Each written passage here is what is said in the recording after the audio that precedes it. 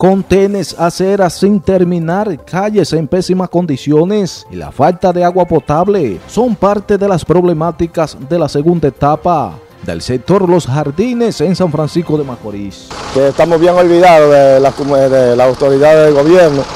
Eh, mira la situación dada aquí, eh, estamos a la vista de la escuela, donde aquí se, eh, se inauguró este plantel escolar ya de que con asfalto, aceras y contenes, mira la muestra, que no hay aceras y contenes. Por lo menos hay, hay contenes, hay un poquito de afirmado, pero el trabajo de la, escuela está todo por mitad del camino.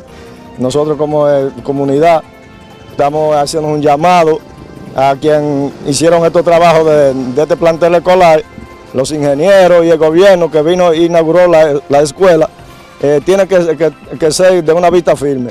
El agua potable es una de las necesidades prioritarias de la comunidad, de acuerdo a lo establecido por Juan Carlos Lora, dirigente en esa zona. Ya ustedes están palpando con su vista lo que está pasando en estas comunidades, lo que está, lo que está sufriendo estas comunidades.